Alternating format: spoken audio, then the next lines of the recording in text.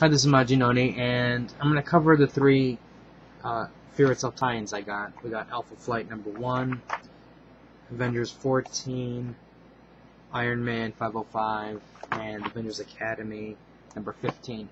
Now, with the, um, if you remember in Fear Itself number 3, basically what was going on is it was very fast-paced. You know, they just took you from scene to scene just to give you a taste of what everybody was doing, and then they also had uh, another plot line, which was the overall story, or the central part of the story, with like Thor and um, Steve Rogers and things like that.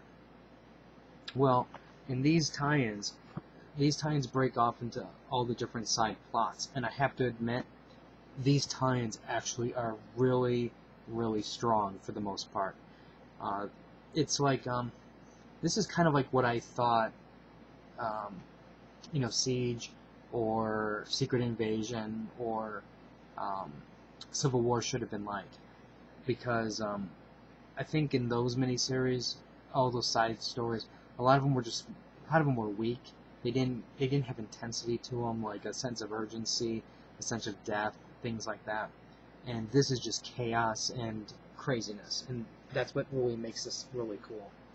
Now, like for example, in Avengers Academy, um, this is dealing with um, you have two groups.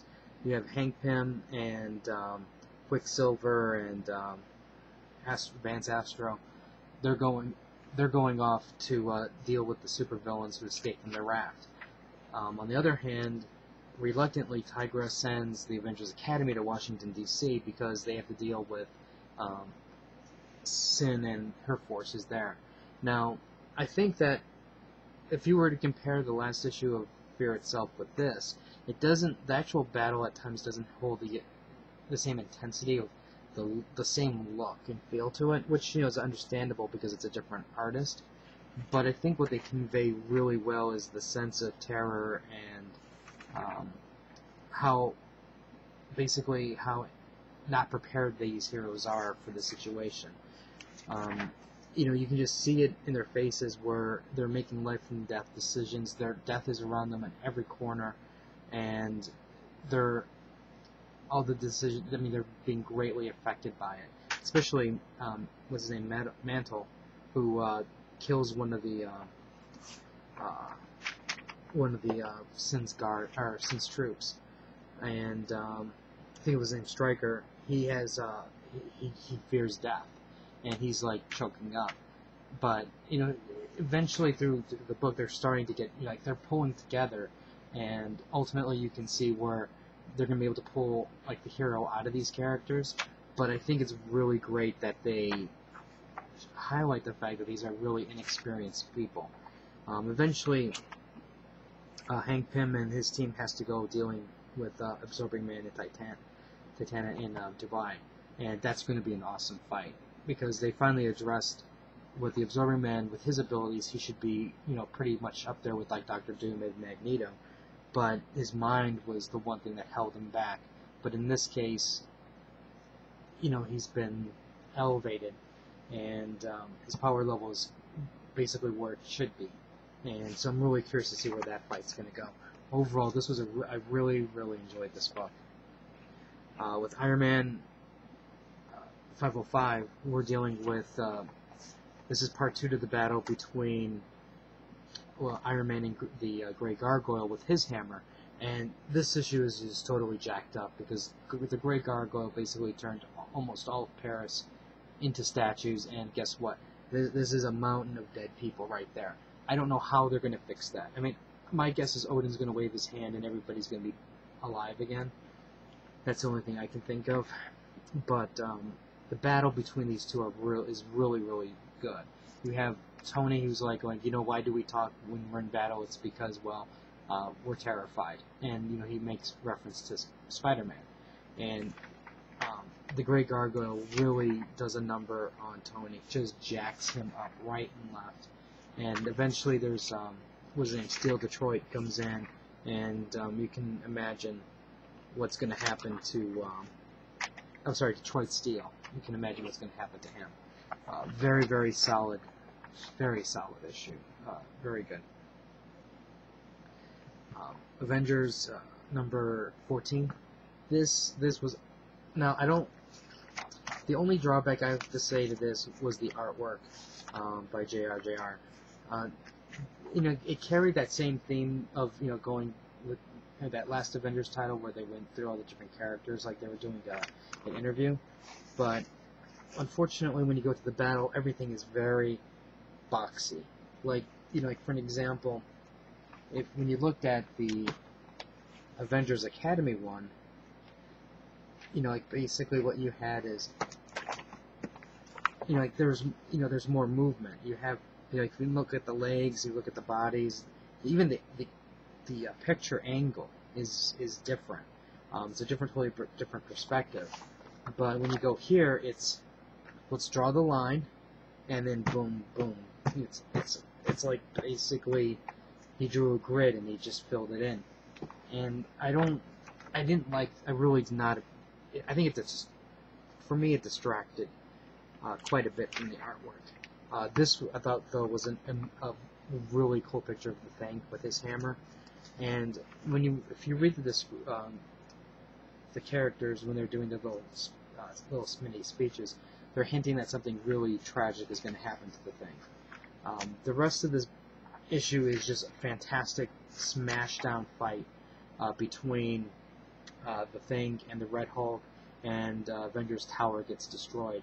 And what I thought was really a nice touch was uh, Jarvis makes reference to the fact of how in the past uh, the Masters of Evil attacked and uh, Avengers Mansion destroyed it and severely injured like Hercules, put him into a coma, uh, did a number on Jarvis himself, and they almost won.